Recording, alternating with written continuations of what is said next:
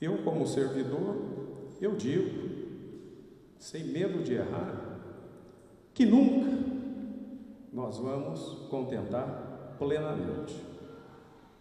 Mas vamos puxar pela história, e lá se vão 40 anos, houveram altos e baixos, como tudo na vida.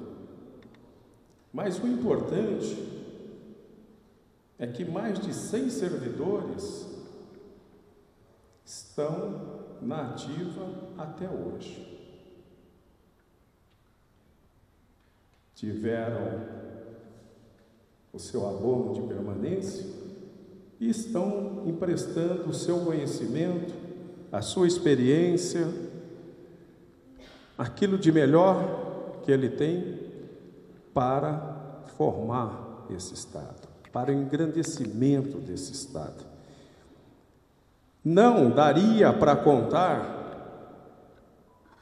e seria um ato falho, se comemorássemos, como, como estamos comemorando, os 40 anos do Mato Grosso do Sul, sem inseri-los dentro desta história, dentro destas comemorações, por mais simples que seja.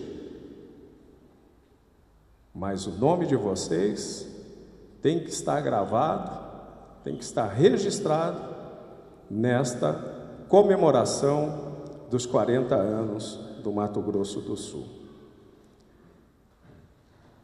Confesso que nós estamos passando por uma série de dificuldades financeiras, mas eu não abri mão deste momento.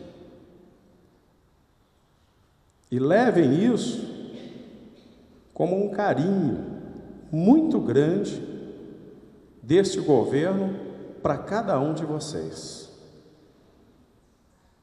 É uma simples homenagem, como eu disse, mas foi feito com o coração, foi feito com emoção, foi feito com carinho, com muita dedicação a quem dedicou praticamente uma vida para o Mato Grosso do Sul, para o nosso estado. Estado que, apesar de jovem, tem uma história muito bonita já. Nós temos o que mostrar. Nós somos referência em vários setores, seja da economia, seja